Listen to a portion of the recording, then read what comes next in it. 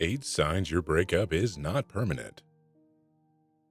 Relationships don't come with a nifty handbook to help us navigate our way through the ins and outs of keeping things afloat with a romantic partner.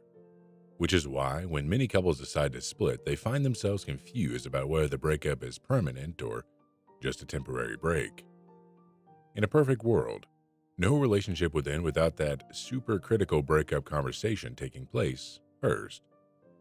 In that shiny, totally not real world, there would always be clarity about where either party stood. And many of us could avoid that awkward state of delusion in which we try to convince ourselves that the breakup is temporary. Since we are all flawed and breaking up is complicated, how do you know if this split isn't actually the end of your world, but instead just a hiccup in the road that is only temporarily throwing it off its axis? So, is a breakup always forever? Before we begin, subscribe to Modern Love Potion because every video you watch will transform you into a woman high value men can't resist. So click or tap the subscribe button now to not miss out. Hardly. In fact, it's quite common for relationships to go through rough patches and even breakups, only to come back together stronger than ever. Here's how you know that your breakup is only temporary and you'll be back together soon. Number one, you broke up in the heat of an argument. We've all been in a situation where we insisted on having the last words, even if we didn't really mean what we said. Your partner heard, I hate you and never want to see you again. We're done.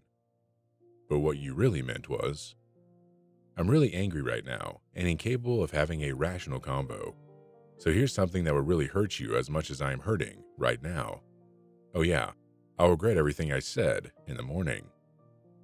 If you and your SO broke up in the heat of the moment, it's likely that you will be able to rebound from the argument once both of you have cooled down and allowed yourself to communicate in a healthier manner that actually resolves the issue without sacrificing the entire relationship. Number two, you keep in touch during the breakup. You both know you called it quits, but you barely act like it. Between the constant texting, hanging out, and regular sex, it's apparent that the only thing that changed between you was you both agreed to break up, whatever that means. If you're struggling to embrace the breakup, which means limiting or completely ceasing contact, no sex, and, you know, moving on with your separate lives, then there's a chance that this breakup isn't permanent. Now, whether it should be or not is a totally different story, but that's not for us to decide. Number three, neither of you is interested in seeing someone else. Ending a relationship technically frees you up to date around, which is great, except it's not because none of your Tinder prospects hold a candle to your kind of sorta ex. In some cases, not wanting to date someone new can just be a sign that you're still not over your last relationship. But if you both honestly cannot bear the thought of being with another person, it may just mean that your breakup gave you the space to better appreciate what you have in one another. Number 4. Your issues can be resolved without a permanent split. Relationships tend to bring your inner petty to the surface, and so often we resort to drastic measures to address a simple fix. Like, is it really worth breaking up because your SO is the loudest snorer on the planet who refuses to hang the toilet paper facing down? While those minor nuances can definitely grate on your nerves, they can probably be resolved without ending the relationship. Believe it or not, being annoyed with your partner is great for a relationship. It allows space for you to exercise your conflict resolution skills. If you ditch your significant other because of their irritating habits, there may still be hope for the relationship with a bit of patience, understanding, and communication. Hey, are you liking the video so far? If so, I have good news. Make sure you like and subscribe to Modern Love Potion because every video you watch will transform you into a woman high value men can't resist. And you'll never miss our videos every Monday, Wednesday, and Friday. Also, if you have a story you want to share with me or other people watching this video in the Modern Love Potion community, write a comment below. Okay, so where were we? Number 5. Life is better when you're together. and not in the dreamy life is a rom com type of way. This person legitimately adds excitement, positivity, and balance to your life by supporting you, encouraging you when you're down, and fully accepting you and your imperfections.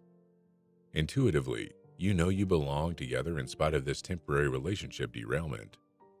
There are still doubts over whether temporary breakups actually work, but it's perfectly okay to take time to consider whether it means your relationship has seen its last days, or if you and your partner are gearing up to give your romance a second chance.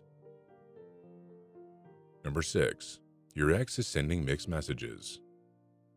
If your ex has been giving you the hot and cold treatment since breaking up, that is actually often a strong indication that he or she is internally conflicted about the decision to break up and may soon give in to their feelings and decide to take you back. What do I mean by mixed messages? Well, for example, if your ex sends you a late night text saying, I miss you one day, and then the next day they completely ignore you, or tell you they never want to talk to you again, that's a mixed message. Again, these type of back and forth signals that your ex is sending are almost always an indication that your ex is having second thoughts about the breakup. Number 7. Your ex gets emotional. Think about it for a sec. If you had broken up with someone and you were totally confident it was the right decision, if you were truly over them and ready to move on without looking back, would you still be emotional when thinking about that person? Would you break into tears when you saw that person or tell him or her how much heartache their breaking is causing you? Probably not. For that reason, your ex becoming emotional around you after breaking up, or even just showing any kind of pain and loneliness in general, is a strong indicator of someone who hasn't moved on. They might be so emotionally affected by the breakup that they might break down and beg you to come back. Whatever happens, it's never easy dealing with a temporary breakup You'll have to relearn trust and rebuild the connection so you can move forward together. Number 8. Your ex is still angry at you. This is a weird one, and a lot of people are skeptical when I tell them that an angry ex is often actually a good thing if you want to get back together. In my many years of experience as a breakup coach, however, it's become clear to me that this is often a very positive sign. If your ex is still angry at you, they're still emotionally invested in you and your time together. Now, of course, there are some exceptions to this rule. If you did something truly horrible to your ex, whether you cheated on them or said some really horrible things to your ex, then their anger probably isn't a good thing. But if there wasn't anything that bad that led to your breakup, and yet your ex continues to hang on to little arguments and disagreements long after the breakup, that's usually an indication that they're still thinking about you regularly and emotionally invested in you in your past relationship. If this describes your situation, then you have plenty of reason to be optimistic about your chances of getting back together.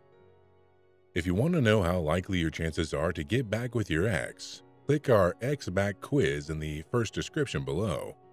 Also, if you want to see our best videos, click the videos on the screen now. Don't forget to subscribe to not miss out on any of our videos, and I'll see you next week.